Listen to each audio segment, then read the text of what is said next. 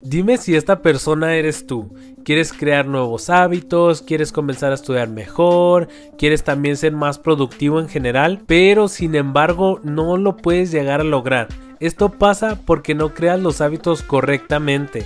En el libro de Atomic Habits se explica que para que tú puedas crear en realidad un buen hábito, primero lo que tienes que hacer es hacerlo más sencillo para ti. Por ejemplo, si lo que quieres hacer es leer más libros, entonces lo que debes de hacer es dejar un libro a un lado de tu cama para que siempre esté a la vista de este modo no se te vaya a olvidar el hecho que quieres leer más. Por otra parte, también algo que tienes que hacer es disminuir los obstáculos. Un ejemplo que te puedo dar es del hecho de que te quieras dormir más temprano pero no puedes porque siempre utilizas el teléfono y te terminas desvelando hasta altas horas de la noche. Entonces lo que tienes que hacer para disminuir este obstáculo es dejar cargando tu teléfono del otro lado de la habitación. El caso es que no tengas que depender de tu fuerza de voluntad